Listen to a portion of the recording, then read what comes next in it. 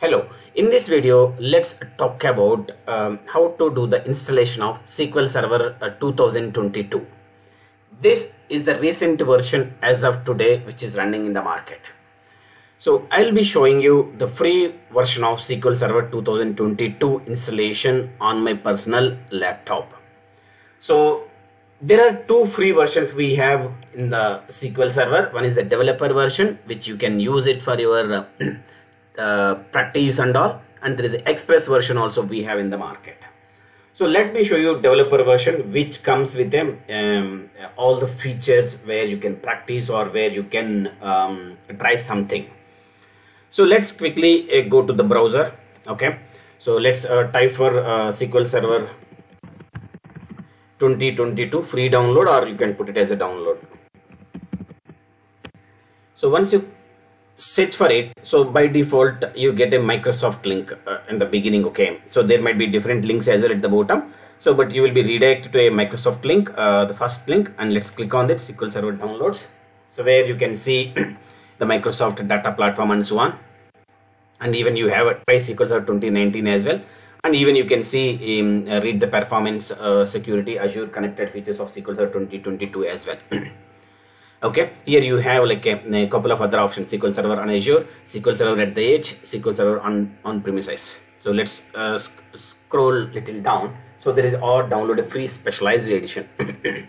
So here you have a developer and you have Express and you can read out SQL Server 2022 developer is a fully featured free edition licensed even we have licensed for use um, the development and test database in non-production environment or you can have a uh, Express as well SQL Server 2022 Express is a free edition of SQL Server ideal for development production and desktop web and small over applications. So let's click on download.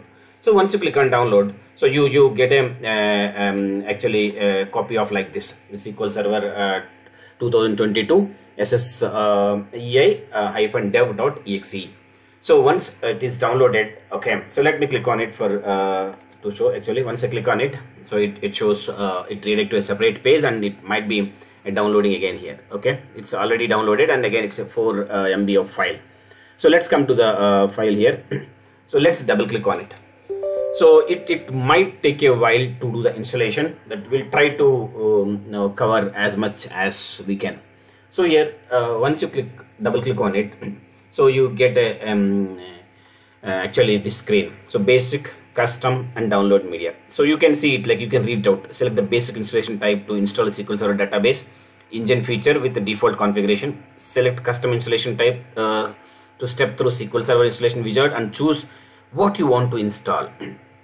So better to go with this okay? So if you if your system has enough space and enough um, capacity of ram so then better to go for custom. I just selected a custom. Then by default it required um, a media location to download the file. So media required uh, around um, uh, 8 uh, GB of free space required and download file of around um, 1.1 GB around 1188 MB so let's click on install. So it, it is downloading now. It might take a while. So let us see what we can try to cover here okay? So let's let it download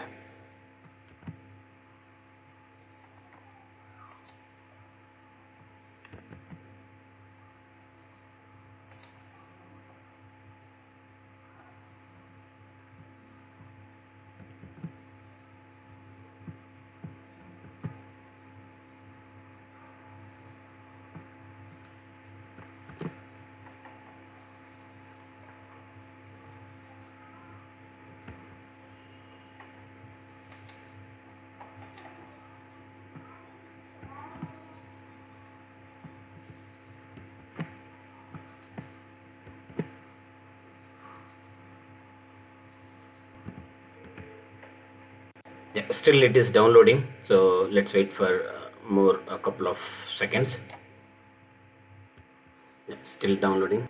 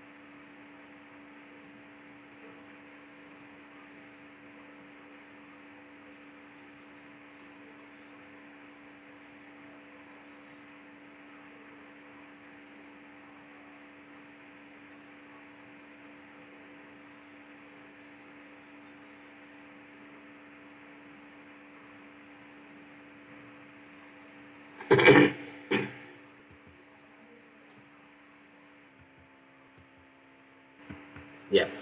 So download uh, successfully completed and once the download is completed you get this screen actually. So here if you see it's, it's a kind of little old screen okay? The planning in the left side and installation maintenance tools resources advanced and options. So let's go to the installation. It's a bit old screen only. So in the installation so there is a option to do the new SQL Server standalone installation or add features to an existing installation. So by using this option you can do the new installation of SQL Server 2022 or if you already have a existing SQL Server 2022 you can add features by any chance if you missed in the earlier installation. So let's click on this. So once you click on this you get one more uh, window. So where uh, you may need to uh, progress actually so if you see there was a one more window uh, asking us to wait please wait while SQL Server 2022 setup process the current operation.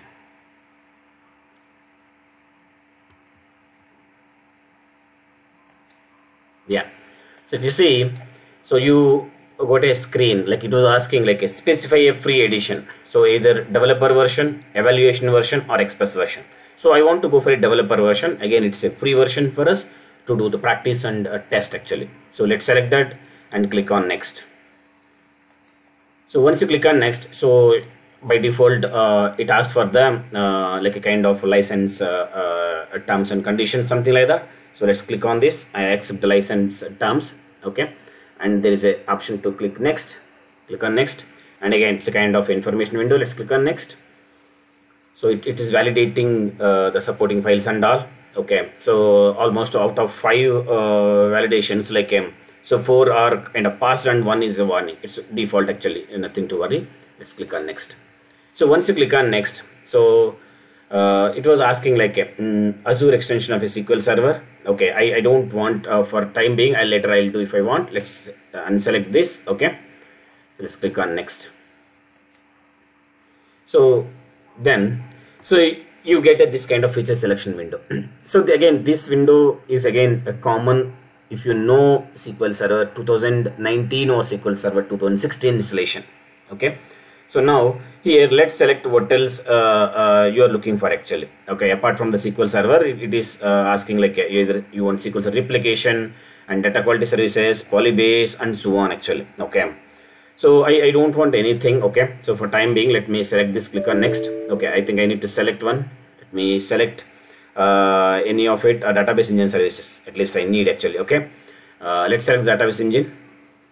And uh, if, you want polybase again SQL Server 2022 has a uh, feature uh, to use polybase. Even you can directly upload or, or like a, you can use S3 connectivity and all. Okay let's select this.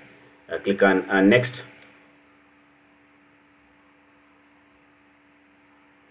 okay? And it is asking for a named instance. The reason is i already have a sql server 2019 on my pc so that is the reason why it is not proposing a default instance. It is asking for a named instance. So i'm going to uh, tell the name as sql server uh, sql 2022 okay? Just to say it is a sql server uh, 2022 version. Okay? So now so by default when i give a name here by default it comes here. And uh, what are all the uh, uh, features i am getting here based on the selection like it, it comes here so let's click on next. So once I click on next you can see it's here like what is happening. Polybase next step is polybase configuration next server configuration and so on. Okay? So here it was asking specify a port range for polybase services. Six or more ports required. So uh, it's it's it's by default it is giving these ports. Those ports are free in my uh, laptop. I'm okay. Otherwise if these ports are occupied or you want to give any specific range for the polybase then you can give it. That's not a problem so let's uh, let's click on next. So once i click on next then it is server configuration. So here uh, by default like um, so here agent will be running on this account and uh, database engine will be running on this account and polybase running on this this and so on. If you want to change this one you can change. Otherwise okay. So let's click on next. So once you click on next then so on what mode do you want to uh, allow the people to use this sql server? So you can go for Windows authentication, but I go for mixed authentication. when I say mixed authentication, it allows SQL Server Windows authentication as well as SQL Server authentication. So then, so the by default SQL authentication uh, for uh, username is SCA. Okay, I need to give a password. Okay, so here I need to specify. But please make your note whatever the password you are keeping, and also add current user. Okay, current user would be the administrator by any anyway. I'm making it. Okay, and also I'm keeping SA as a admin actually. Okay, so SA by default and password I kept it. So let's click on uh, next. So once you click on next, see now what are all the features you have been selected and what are all the changes uh, uh, are going to happen in this uh, this installation. This will show you kind of uh, information. Okay. So and it, you can see it ready to install SQL Server 2022.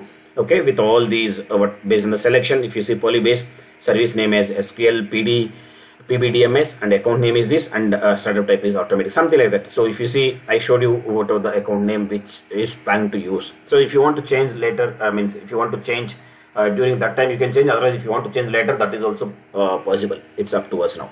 So let's click on install now. So it might take a while okay? Uh, because it, it required to uh, uh, get all the uh, features installation and all. So let, let let's wait for a while to this installation happen.